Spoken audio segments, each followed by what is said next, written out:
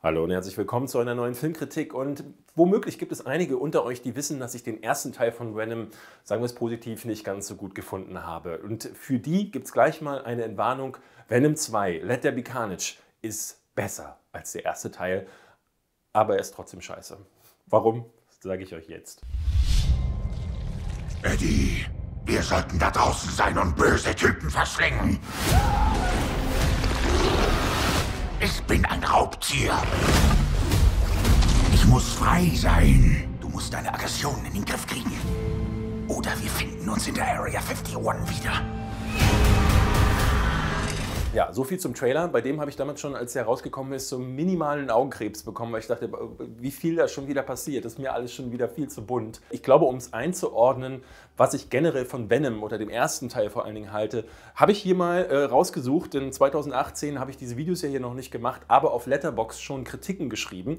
Und zu Venom 1, ja, dem ich äh, da anderthalb Sterne gegeben habe, habe ich folgendes geschrieben. Venom ist seelenloser CGI-Blödsinn auf derart niedrigem Niveau, dass ich mich sogar mehrfach bei dem Gedanken ertappt habe, wie gut mir der Spawn-Film von 1997 im direkten Vergleich gefallen hat. Und das sagt eigentlich alles, was man zu Venom wissen muss. Ja, ihr seht, das hatte mir nicht ganz so gut gefallen und es hatte zwei konkrete Gründe. Der erste war Tom Hardy selbst, der ja die Figur Eddie Brock spielt, die dann von dem Alien-Symbionten Venom eingenommen wird. Und die beiden befanden sich in so einem stetigen Streit miteinander. Und das fand ich wirklich affig. Das hat mir leider überhaupt nicht gefallen, wie Tom Hardy das gespielt hat, sondern es hat mich wirklich eher erinnert an meine Zeit im Kindergarten, als wir im Kindergarten auch mal uns unsere Jacken umgedreht haben, um den Hals gebunden haben und dann Superheld gegen Superbösewicht gespielt haben. Für mich ist das wirklich alberner Quatsch gewesen. Und das vor allen Dingen von einem Schauspieler wie Tom Hardy hat mir nicht so gefallen. Der andere Punkt war, immer dann, wenn Venom Action gezeigt hat, habe ich die einfach nicht erkannt. Es war unfassbares Pixelgekröse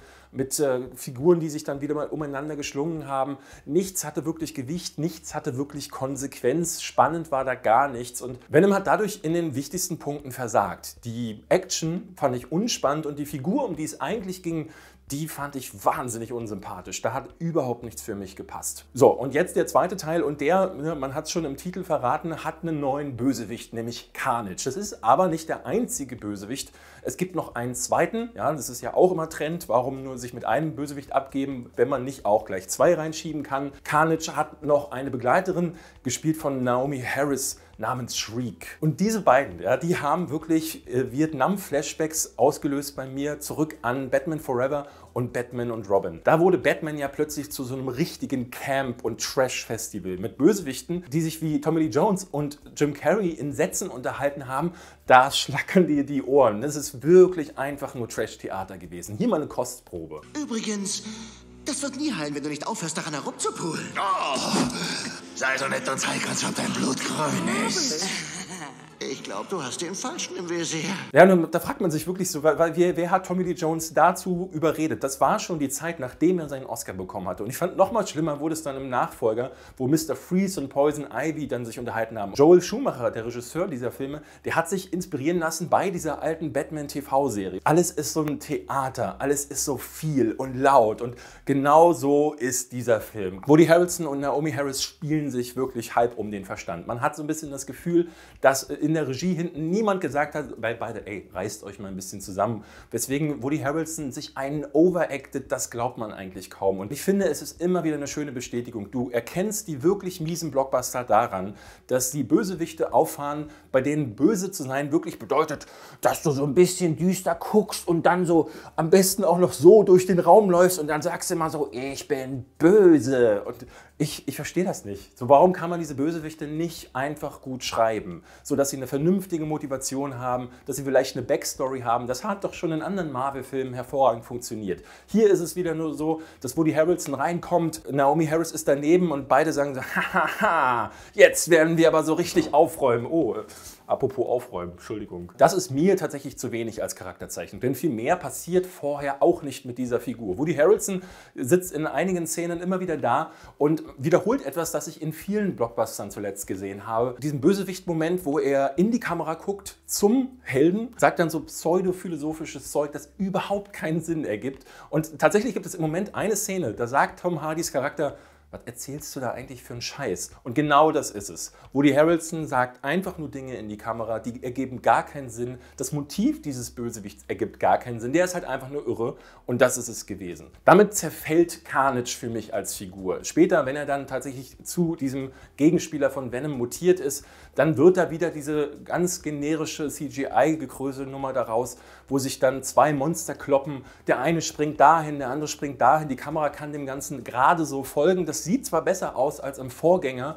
weil Andy Serkis so ein bisschen Ahnung davon hat, wo so eine Kamera im digitalen Raum stehen muss, aber trotzdem insgesamt, ich finde keinen Zugang zu diesen Action-Szenen, weil es gibt keine Spannung, es gibt kein aufbauendes Moment, es gibt keinen Spannungsrelease.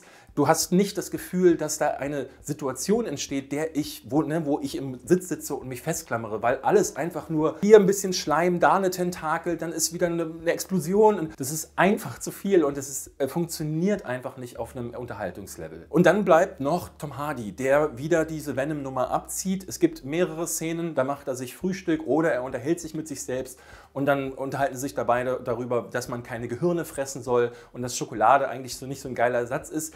Das ist wirklich, als hätte man den ersten Teil genommen und ein paar Sätze, die da im Skript rausgestrichen wurden, einfach jetzt eingefügt. Da ist nichts Frisches dazugekommen. Man muss dazu sagen, dem Ganzen wird jetzt eine neue Ebene verpasst, weil sie so eine Art Buddy-Movie daraus machen wollten. Venom und Eddie Brock streiten sich und dann gibt es so eine Situation, die kennt man aus so Beziehungskomödien. Die Beziehung zerbricht und dann müssen die beiden irgendwie wieder zusammenfinden. Und das wirkt wie ein Film, der in einen anderen Film hineingepresst wurde. Denn während das Ganze passiert, gibt es ja da diesen irren Killer. Woody Harrelsons Charakter bzw. Carnage rennt durch die Gegend, tötet wahllos Leute. Das natürlich alles ohne Blut. Ja, dieser Film muss für das junge Publikum auch zugänglich sein. Deswegen wird hier immer wieder davon geredet, dass Köpfe abgebissen werden. Und dann werden sie halt nicht abgebissen. Ja, ich bin kein Fan davon, wenn man einfach nur Gewalt um der Gewalt willen irgendwo reinbringt. Aber so ein blutleerer, handzahmer Venom, irgendwie passt mir das nicht so ganz. Gerade wenn die ganze Zeit immer wieder angedeutet wird, dass es jeden Moment krasser werden könnte. Das heißt also, man als Fan muss man sich fast so ein bisschen entscheiden. Diejenigen, die sagen, oh, ich finde dieses Geplänkel zwischen diesen beiden Figuren, zwischen Eddie Brock und Venom eigentlich gar nicht schlecht, die müssen sich damit abfinden, dass da immer wirklich ein ganz, ganz fieser, richtig schlechter Superschurkenfilm noch auf der anderen Seite läuft. Und die, die lieber mehr Carnage gesehen hätten, die müssen sich damit abfinden, dass immer wieder, ne, wir schneiden dann immer wieder rüber zu Tom Hardy, der in seiner Wohnung sitzt und darüber diskutiert, warum da jetzt zwei Hühner durch die Wohnung laufen. Ich persönlich konnte darüber überhaupt nicht lachen. Das ist nicht mein Humor. Ich finde auch weiterhin, das wirkt einfach nur albern. Es gibt jede Menge Plotlöcher, wie Eddie Brock und Carnage zusammenfinden. Das macht meiner Ansicht nach überhaupt keinen Sinn. Es gibt noch einen Subplot mit seiner Ex-Freundin und einem Polizisten. Auch die werden halb gar angerissen. Also ich habe auch da das Gefühl, irgendjemand hat gesagt, ah, scheiße, wir haben ja noch diese Charaktere, mach die irgendwie rein. Und so fühlt es sich leider an. Das ist ein sehr unebenes Stück Film, aber, das muss ich auch sagen, er hat mir minimal besser gefallen als der erste Teil. Denn irgendwann hatte ich so ein bisschen verstanden, wo die hinwollen. Ne? Der erste Teil wirkte einfach nur wie ein Film, den sie machen wollten und der ist dann schlecht geworden. Der hier wirkt wirklich so, als hätte jemand die alten Joel Schumacher Batman-Filme gesehen. Also als hätte jemand gesagt, Batman und Robin, das kam bei den Leuten gut an, lass das einfach nochmal machen. Und ein bisschen ne, aus dieser Perspektive betrachtet, macht dieses Trash-Theater dann schon was her. Also gerade Woody Harrelson und Naomi Harris zuzugucken, ich habe die ganze Zeit den Kopf geschüttelt, aber man kann da auch Freude äh, dabei haben. Das kann ich mir gut vorstellen.